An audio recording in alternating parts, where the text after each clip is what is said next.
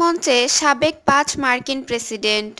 যুক্তরাষ্ট্রে এবছর বেশ কয়েকটি ভয়াবহ হারিকেন আঘাত এনেছে, ফলে দেশের বিভিন্ন স্থানে ব্যাপক ক্ষয়ক্ষতি ঘটেছে।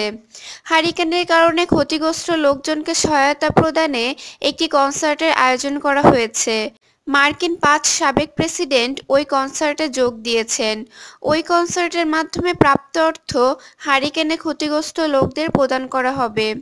টেক্সাসে শনিবারের ওই কনসার্টে ছিলেন Barack Obama, George W Bush Bill Clinton, George H W Bush ও জিমি কার্টার।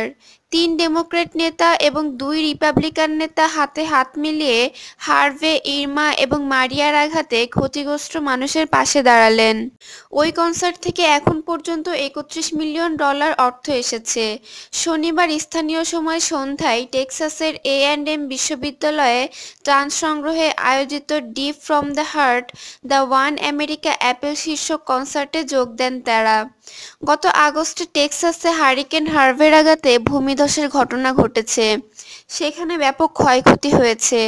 টেক্সাসে আঘাত আনার পর হার্ভে, ফ্লোরিডা, পুয়ের্তো রিকো এবং ভার্জিন দ্বীপপুঞ্জে আঘাত আনে ওই কনসার্টে ওবামা বলেন, একজন সাবেক মার্কিন প্রেসিডেন্ট হিসেবে আমরা আমাদের দেশের জনগণের সেবা করতে চাই।